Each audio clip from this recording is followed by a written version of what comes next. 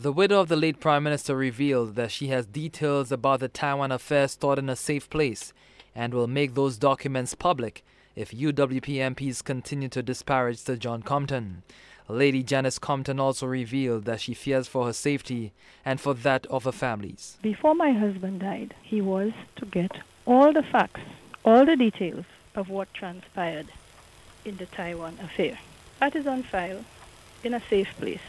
He would not use it for the good of St. Lucia and for our name. But if the maligning continues, I will be forced to put it out. I don't intend to at the moment. I just want those persons to know that he knew and I know. And if something were to happen to me or my children, it will come out. Lady Janice was clear about why she thought her late husband has been maligned to get Rufus Bousquet back into cabinet. She described UWP MPs who, she says, were more concerned that Sir John would dissolve the House on his return from New York than for the health of her husband.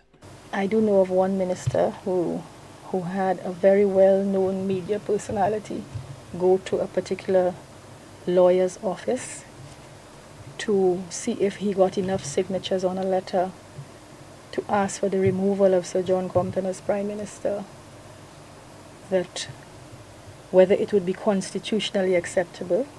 These are the lengths that some people went to in their panic.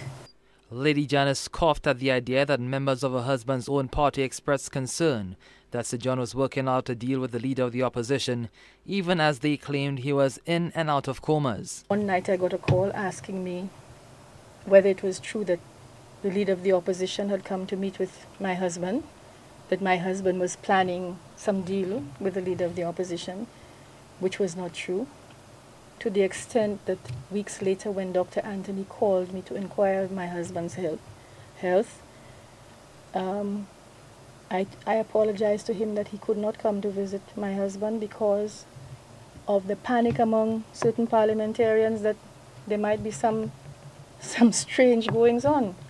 Lady Janice's statements have created a firestorm around the island, with callers to Helen 100 expressing shock about the revelations. However, the main people fingered by Sir John's widow have remained awfully silent about the allegations. Clinton Reynolds, HTS News, Channel 4.